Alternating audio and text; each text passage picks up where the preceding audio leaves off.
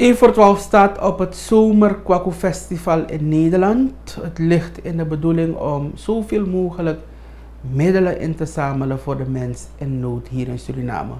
Ricardo de Sousa ligt het volgende toe met betrekking tot deze voornemens. Ik woon al 46 jaar in Nederland. Uh, ik heb zoveel gedaan in Nederland, maar ik heb altijd voor één ding ambitie gehad. En dat is het publieke werk. De radio, de televisie. dat heb ik altijd gedaan. Ik doe het al vanaf 1978 doe ik dat werk. Dus uh, dat is mijn ambitie geweest. U weet uh, in principe, zoals u zegt, hebt u 1 voor 12 de laatste twee jaar, anderhalf jaar, hebt u die gevolgd.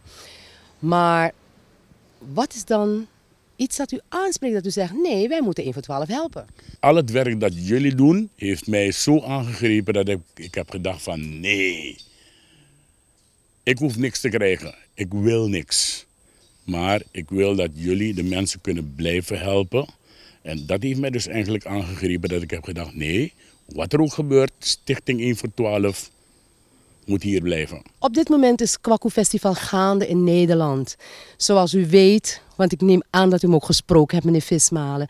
Die is voor een korte deur in Nederland.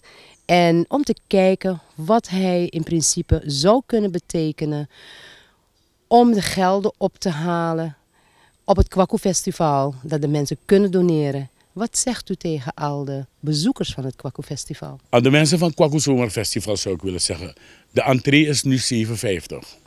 Het gaat elk jaar een beetje omhoog. Dat is te begrijpen. Maar maak het voor dit jaar even 10. Maak het zelf tot 10 euro. Door die 7,50 te betalen voor je entree Pak die 52 die je daarna krijgt als je met een tientje betaalt. Stop het bij de mensen van 1 voor 12 in de bus. Het is hard nodig hier in Suriname. Ja? En de mensen kunnen jullie hulp behoorlijk goed gebruiken, zoals je het zelf ziet. Wij wensen u, voor de tijd dat u nog even in Suriname bent, wensen wij u veel plezier. En wij danken u zeer zeker voor dit prachtig item die wij met u mogen delen. Ja, ik ga maandag 23 juli weg. En uh, dan heb ik nog twee weekenden kwaku.